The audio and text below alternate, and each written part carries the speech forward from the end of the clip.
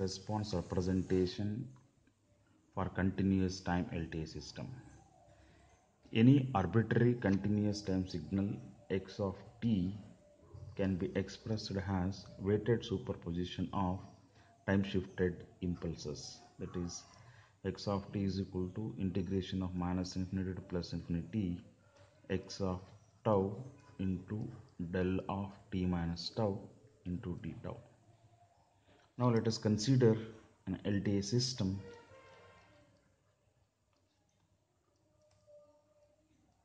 LTI system.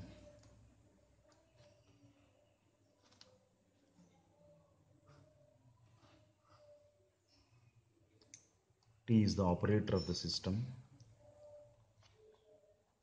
X of T is the input whereas Y of T is the output y of t equals to that is x of t of sorry t of t of x of t where operation is done on the input signal. y of t equals to t of x of t is expressed as weighted superposition of time shifted impulses that is integral of minus infinity to plus infinity x of tau into del of t minus tau into d tau. Since input signal is constant, operation is done on the time shifted impulses. That is integral of minus infinity to plus infinity x of tau t of del of t minus tau into d tau. Since the input signal here is del of t minus tau, its output is h of t minus tau. That is integral of minus infinity plus infinity x of tau into h of t minus tau into d tau. This is the output of an LTI system. This is represented as x of t equals to y of t equals sorry y of t equals to x of t that is convolved with h of t. This is also known as convolution integral. Convolution integral. This is used to find the response or output of an LTI system when two signals are linearly convolved that is x of t and the impulse response h of t now let us take one example. Consider an LTI system with the impulse response h of t equals to u of t and the input signal x of t equals to e to the power of minus at into u of t where a is greater than 0. Let us find out the output y of t.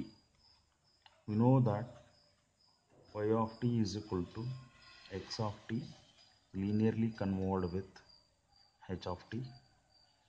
Its formula is y of t is equal to integral of minus infinity to plus infinity x of tau into h of t minus tau into d tau. That is y of t is equal to integral of minus infinity to plus infinity whereas x of tau is u of tau. Sorry x of t is e to the power of minus at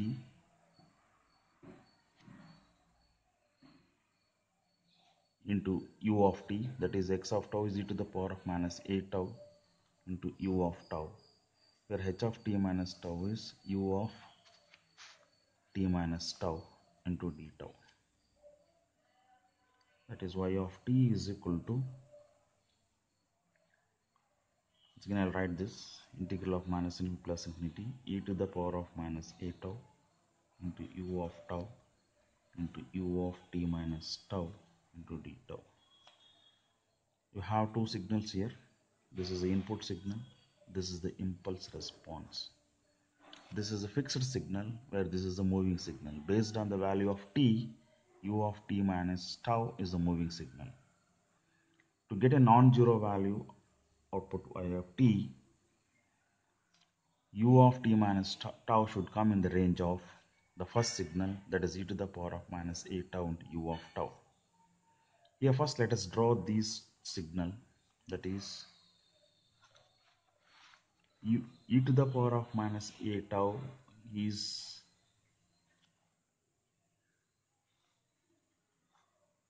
it comes like this. This is a decaying exponential signal. This is t this is 0 this is e to the power of minus tau where u of t is this is a unit step function. It exists from 0 to infinity. This is u of tau when these two signals are multiplied. The resulting signal here is input signal is this is the decaying exponential signal. Its value is 1 and t is 0 this is input signal. This is nothing but e to the power of minus at into u of t. Or is same as e to the power of minus a tau into u of tau second signal should come in this range that is 0 to infinity to have a non-zero value. To fix the integration limits here, we should consider the first signal as well as second signal. From the first signal, we'll get the lower limit of the integration. From the second signal, we'll get the upper limit of the integration. That is, u of tau is equal to 1 when tau is greater than equal to 0, 0 when tau is less than Next, u of t minus tau is equal to 1 when t minus tau is greater than equal to 0 that is nothing but t minus t is, t is greater than equal to tau where tau is less than equal to t.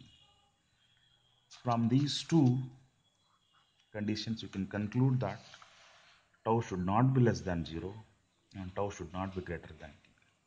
That means integration limits are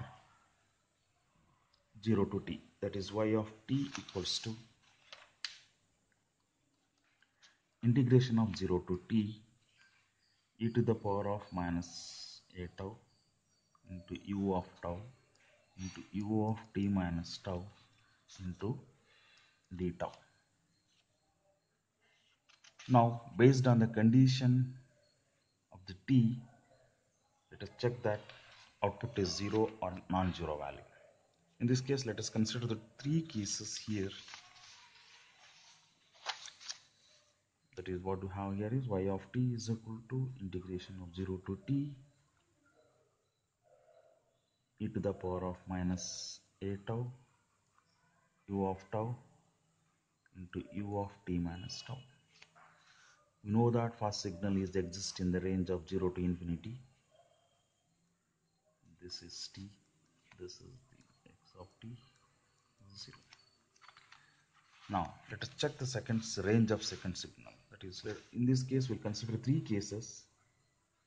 Case number one, when t is 0, that is, it will become u of minus tau whereas u of minus tau comes in the range of 0 to minus infinity.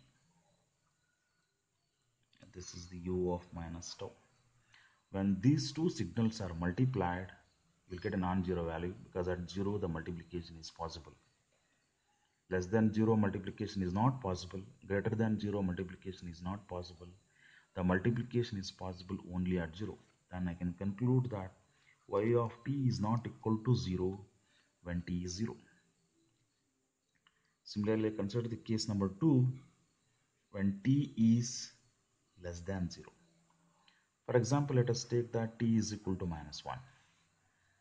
When t is equal to minus 1, you will get second signal is u of minus 1 minus tau. u of minus 1 minus tau where it comes that is you can write it as an u of minus tau minus 1 that is it comes in the range of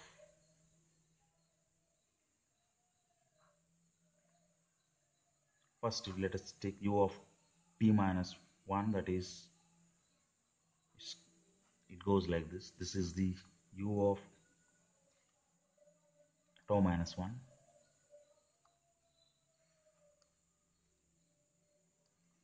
then you take its reflection. It comes in this range. That is minus 1 to minus infinity. This is the u of minus 1 minus tau when you see this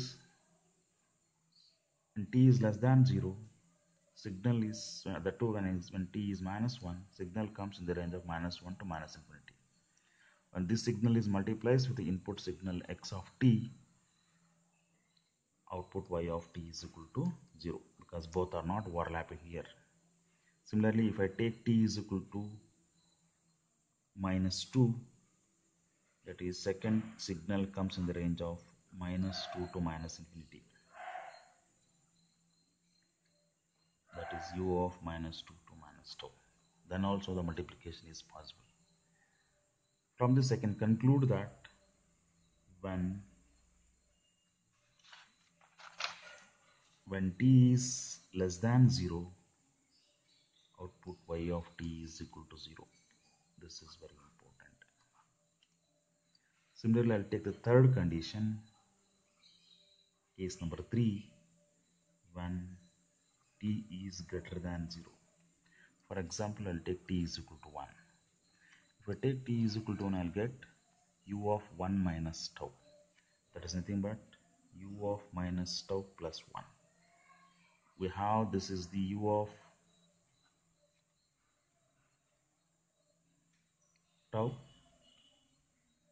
plus 1 means signal is shifted to the left hand side by 1 unit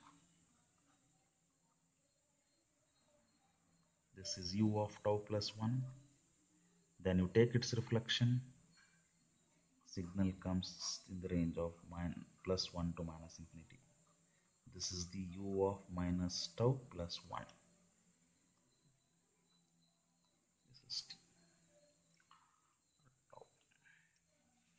That means here when t is greater than 0, second signal u of t minus tau, but when t is equal to 1, it comes from 1 to minus infinity. Then the multiplication is possible with the first signal that is it multiplies up to 1.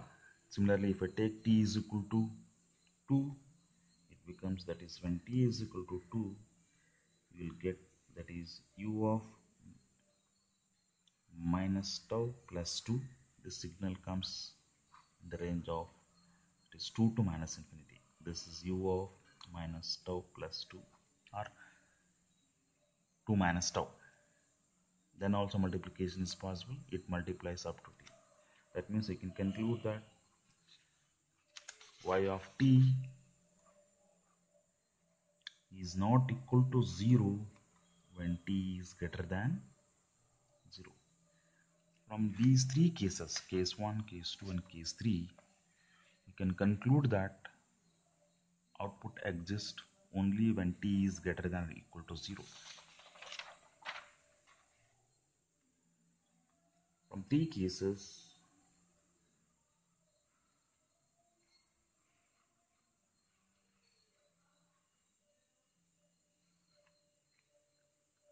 we can say that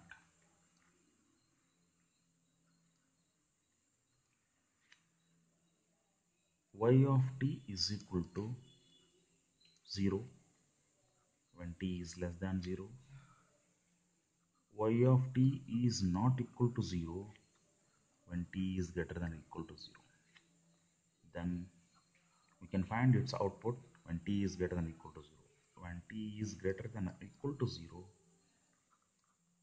y of t is equal to integration of 0 to t e to the power of minus a tau u of tau value is 1 u of t minus tau value is also 1 integrate with respect to d tau. This is e to the power of minus a tau divided by minus a 0 to t. This can be written as y of t is equal to y of t equals to that is 1 divided by 1 minus a is outside. You can write e to the power of minus at minus 1 this can be written as 1 minus e to the power of minus at whole divided by a. This is the output of an first one.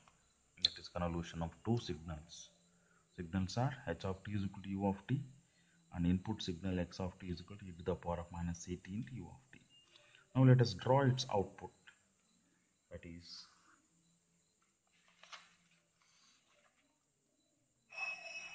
x-axis is t y-axis is the output signal y of t.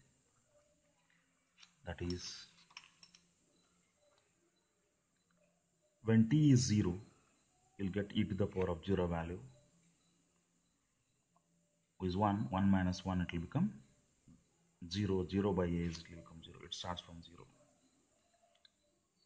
as t increases e to the power of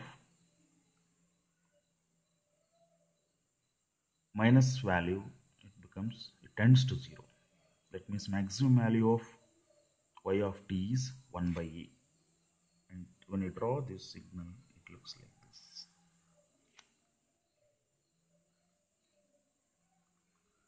At higher values of t when t goes towards positive infinity the maximum value of output signal is 1 divided by